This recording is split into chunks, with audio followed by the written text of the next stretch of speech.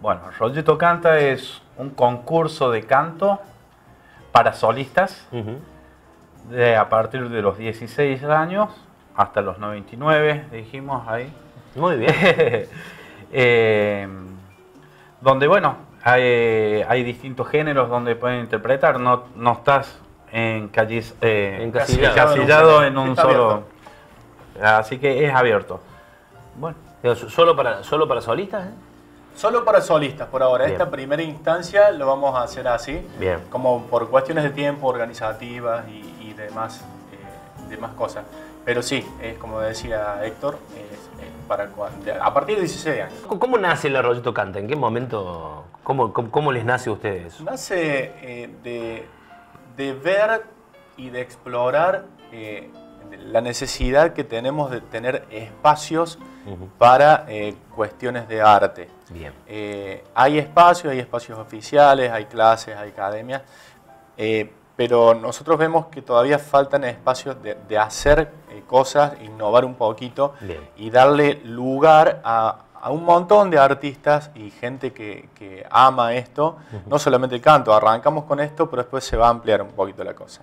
Eh, para tener su espacio, para poder disfrutarlo, para poder mostrarlo, para poder eh, compartirlo entre sus seres queridos, entre Bien. la gente en, en general, ¿no? Sí, en general, conocer a los artistas, digamos. En general, la idea nace de la productora eh, sumamente por eso, o sea, de generar espacio. generar espacio. generar espacio para, para poder hacer eh, esa- ese tipo de muestras. Exacto. Y también que haya incentivos, eso, eso es lo que...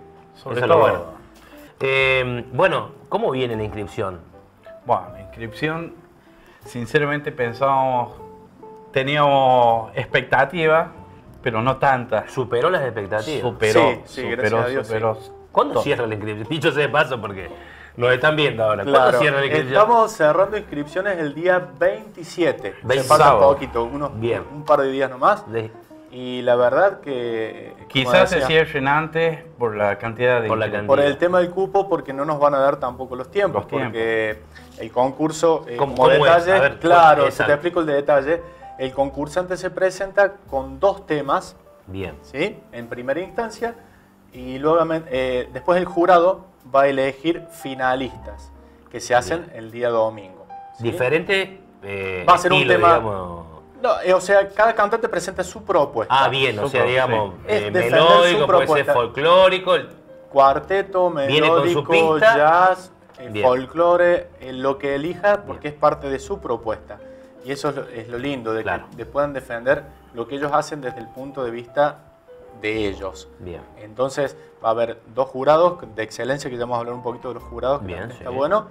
Eh, y esa es una primera instancia. Dos temas se presentan con la primera instancia. Después el jurado elige finalistas, que lo vamos a hacer el día domingo. El día domingo. Y después de la final, obviamente, entrega de premios, que hay premios importantes, como hablábamos, eh, el tema del incentivo. Del incentivo. Muy bien. sí, Sí, sí. ahí tenemos una, una gran ayuda de- del, del señor intendente, Bien. que nos ha dado la posibilidad eh, de, de darle espacio al ganador Está bien, me o ganadora de- del certamen para que participe y cante uno o dos temitas en el Festival de la Dulce Ciudad. Muy bien.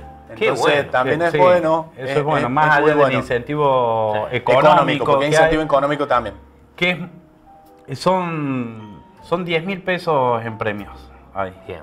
Se bien. dividen primero, segundo y tercero. Bien, perfecto. Eh, entonces, bueno, eh, aparte del incentivo eh, económico, está ese otro. la que- posibilidad de cantar claro. nada más Sí. y nada menos que en la dulce Sí, es un gran festival, Sí. junta muchísima gente, es Sí. nuestro. Es nuestro. ¿Podemos decir quiénes son los jurados? Sí, Sí, sí, ningún por favor. Porque digo, no va a ser que todavía va a haber un músico y le invite como un asado el jurado el día Sí. anterior. Ah, claro. No, justamente por eso quisimos traer jurado de otras localidades. Muy bien. con- para dejar lo más eh, transparente posible el tema de la parte del concurso. Bien. ¿sí? Para que no haya malos entendidos, ni amiguismos, ni nada por el estilo. No Totalmente. queremos eso.